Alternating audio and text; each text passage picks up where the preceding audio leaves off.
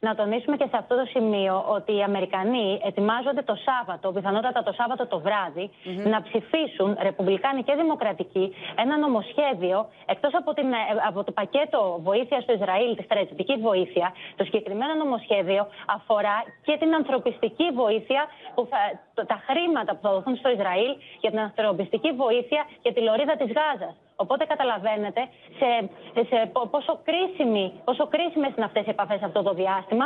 Αν οι Αμερικανοί εγκρίνουν μια επιχείρηση στη Ράφα, πώς λοιπόν το Σάββατο θα πάνε να ψηφίσουν στο Κογκρέσο για το πακέτο και της ανθρωπιστικής βοήθειας μαζί και με την στρατιωτική βοήθεια. Γεωργία. Να δούμε λοιπόν πώς θα εξελιχθεί στις επόμενες μέρες.